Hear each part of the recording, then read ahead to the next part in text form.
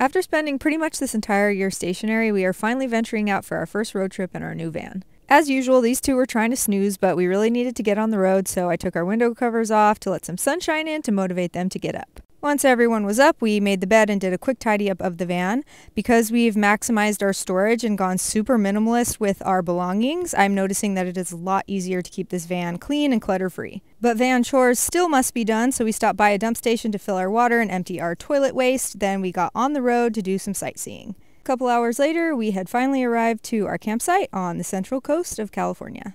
We got settled in, did some quick stretching, and then headed out to one of our favorite overlooks to watch the sunset. While we were there, we made a snack plate and then brought it up onto our roof deck to check out the sunset, but then quickly realized that Tompkins couldn't be up there with us, so we headed back down so that he could be a part of the fun. We took some time to enjoy the views before packing up and heading back to our campground to watch a movie and go to sleep.